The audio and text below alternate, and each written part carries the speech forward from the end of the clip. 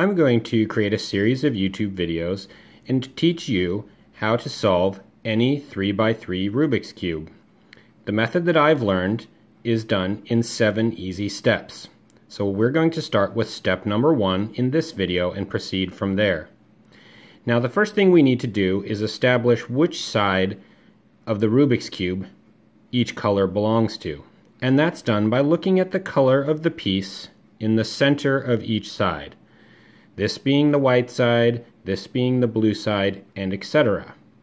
So I've always learned to start with the green side. So locate the green center of your Rubik's Cube and we're going to focus on that side. For this step, we only need to worry about creating a green cross, down and across. We do not need to worry about any corners or any other parts of the Rubik's Cube, so we don't have to focus on that at all.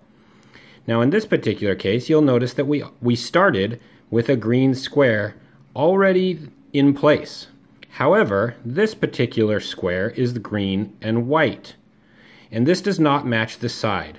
What we need to do is create a green cross where all the sides match, as well as creating a green cross. Now because this one's already sort of in the right place, it's really easy to match up.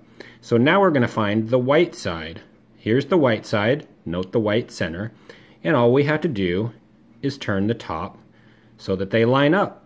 Now we have green into white and everything lines up. So we're partway done. Now we need to find the other green sides. So if we look around our cube, I see here's the yellow and green side. And if you'll look, the yellow is already connected here. So all we need to do is move this green side up to the top. This is a pretty easy move. All we have to do is turn this up. Now we have the green into the yellow side. So there's two sides left. The last one of the next sides is this red and green piece. Now this is the orange center, this is the red center. So this piece needs to move up here to complete the red into the green. So the easiest thing to do here is to take this green side and put it on the bottom of the cube. See now it's on this bottom layer here. And we're going to spin it around until now it's on the red side, but it's on the bottom.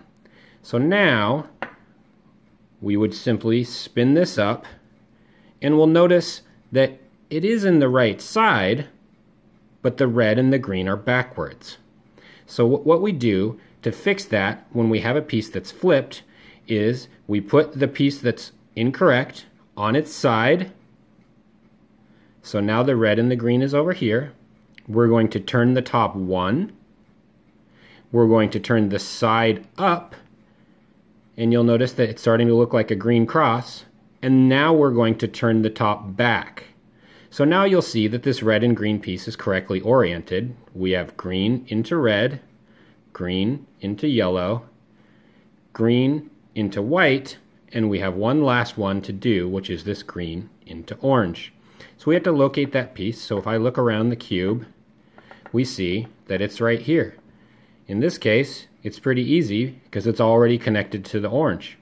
So all we have to do is turn the piece up twice and all now we have a green cross and all four color sides line up correctly.